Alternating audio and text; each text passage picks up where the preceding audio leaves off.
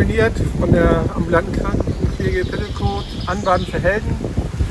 Wir haben das ein bisschen abgeändert. Wir haben uns äh, Gewittersturm ausgedacht mit Starkregen, Hagelschauer und haben eine Radtour gemacht und äh, äh, das Beste Genau. draus mit unseren Helden. Genau, wir nominieren die Landjugend Neustadt, die sind ja stark und gut vertreten, die können das sicherlich auch noch machen. Und ähm, wir spenden an den Kindergarten Hasselburg.